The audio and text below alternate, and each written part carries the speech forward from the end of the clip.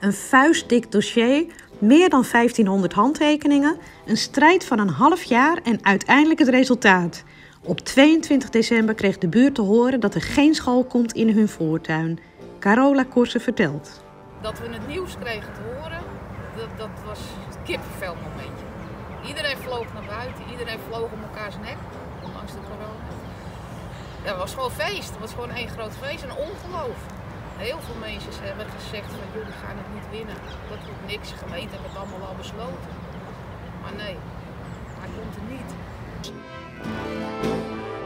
We hebben onwijs goed contact gehad met Marcel Dingemans, de projectleider, en met wethouder eh, Natasja Groothuismink.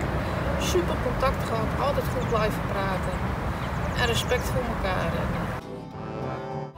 Aan de gemeente, mocht de school hier niet komen, dan adopteren wij de speeltuin. En dan willen we de betrokkenheid die we hebben gemerkt het laatste half jaar, onder andere met die zoveel 1540 handtekeningen ophalen. Wij willen de betrokkenheid in de wijk behouden en wij willen meer voor de wijk gaan betekenen. En wij hebben beloofd de speeltuin te adopteren. Dus dat hebben we sinds 24 januari. Is het officieel de speeltuin van de buurtbewoners. Houden hem schoon.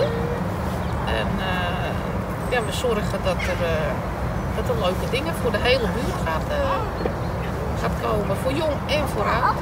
Maar de mensen die Facebook hebben, zal top zijn. Kogelveld in actie voor een groene wijk. Daar gaan we voortaan alles op delen en leuke dingen doen. En waar zit je nou op? Ik zit op een prachtige nieuwe picknicktafel. Die is gisteren direct bezorgd. En uh, super, super blij mee. Daar was de gemeente heel snel mee. Wat goed.